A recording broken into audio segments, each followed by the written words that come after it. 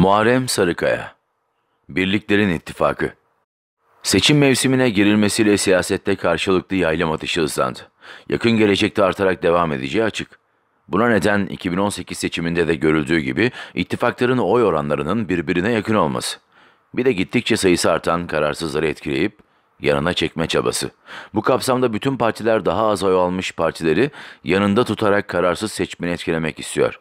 Herkes bize geliyor algısını üretip kararsızlar da kendisine yönelme rızası yaratmaya amaçlıyor. Doğru da bir taktik. Çünkü hangi parti başarılı olursa bundan sonraki süreçte kararsız seçmenin büyük akışıyla karşılaşabilir. İktidara taşıdı.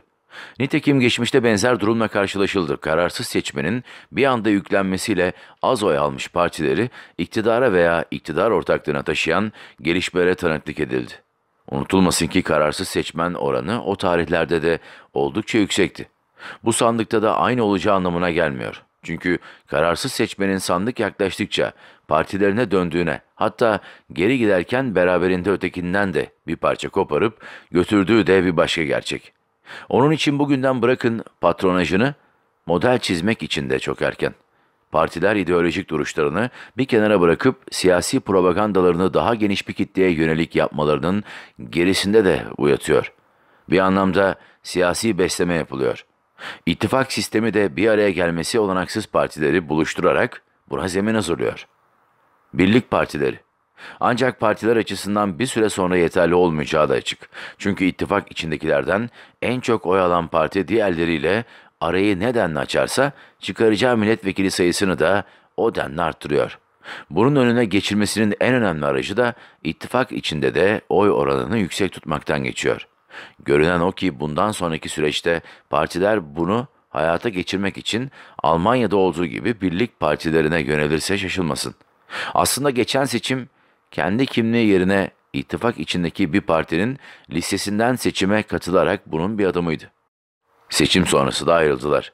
Örneğin Demokrat Parti İyi Parti'nin, Büyük Birlik Partisi AK Parti'nin tipte HDP listesinden seçime girip parlamentoda temsil edilme fırsatını yakaladı.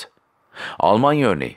Fakat bu az oy alan partilerin milletvekili sayısında sınırlamaya yol açıyor. Bundan çok daha fazla milletvekili kazanmanın yolu da var.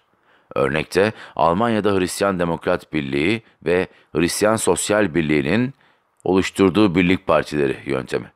Birlik kazandırdı ve Hür Demokratlarla kurduğu koalisyon 16 yıl sürdü. İttifak partilerinin oylarının bu denli birbirine yakınlaştığı zeminde Türkiye'de de kaçınılmaz görünüyor.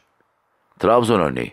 Çünkü sadece ittifakların aldığı oyun yüksekliği yetmiyor. Milletvekili sayısı Hon sistemi içinde partilerin aldığı oya göre dağıtılıyor. Bu da en çok alan ittifaktan hem daha çok pay alıcı hem de oyun kurucu haline getiriyor. Bazen hepsini silip süpürmesine de yol açıyor. En iyi misal AK Parti'nin MHP ile arasındaki oy makasının yüksekliği nedeniyle Trabzon, Tokat'ın da arasında bulunduğu bazı yerlerde milletvekillerinin hepsini alması. Uykularımı kaçırıyor. Bu durum Millet İttifakı için de geçerli.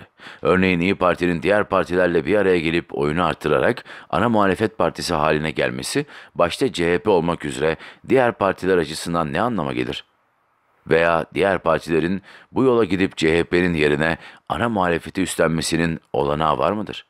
Soruyu önceki gün kökten CHP'liye sorduğumda anında tepkisini gösterdi. CHP'nin ana muhalefetten düşmesinin düşüncesi dahi uykularımın kaçması için yeterli.